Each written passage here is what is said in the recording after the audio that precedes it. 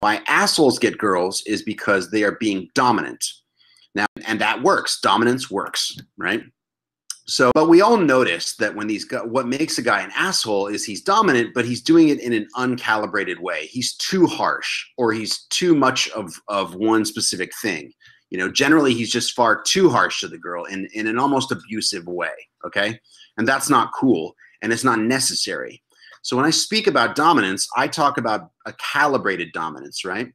So what a calibrated dominance means is you are not abusing your power. You are not uh, being, you know, too aggressive with the girl.